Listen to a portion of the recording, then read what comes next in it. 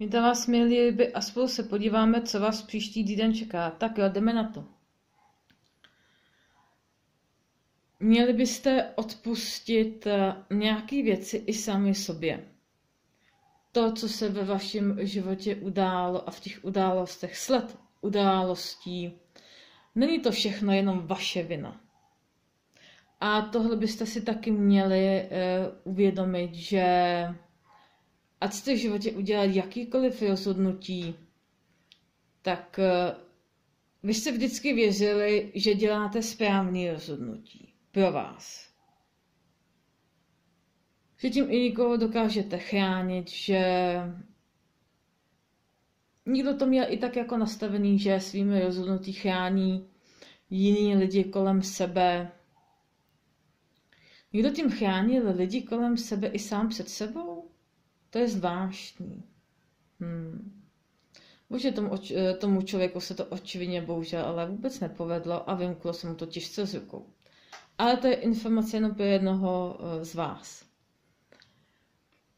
Jenomže to je přesně to, co vám se tak strašně nechce.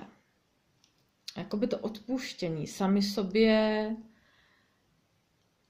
Víc mi to jde, eh, že byste měli odpustit nějaký věci sami sobě.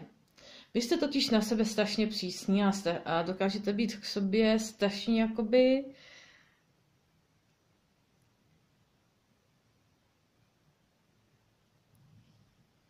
jakoby hodně kritičtí. Někdy, někdy je to takový, jakoby, že dokážete být No, někdo z vás k sobě, jakoby, někdo z vás dokáže být sám k sobě jakoby až takový, jakoby sadistický. Jež. No, mám říkat tyhle informace, taky říkám. Uh,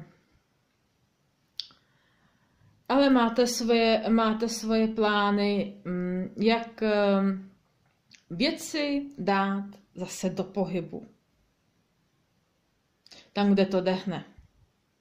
Jak dát věci zase do pohybu. Ale ono by to šlo rychlejc. To je super paradox. Ono by to šlo rychlejc, kde by jste pracovali i na tom odpuštění sami sobě.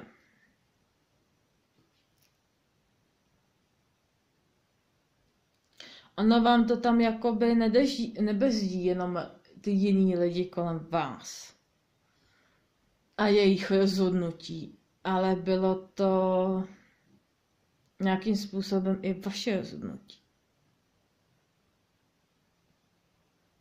A neměli byste se kvůli tomu jakoby, jakoby po té vnitřní stránce jakoby ničit a už se prostě stalo čas, člověk nikdy nevrátí zpátky.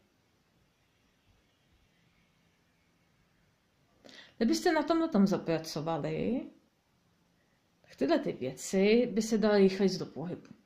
Ale záleží na vás, jestli s tím tím chcete pracovat a jak tohle ty informace zcebáte a vůbec uchopíte.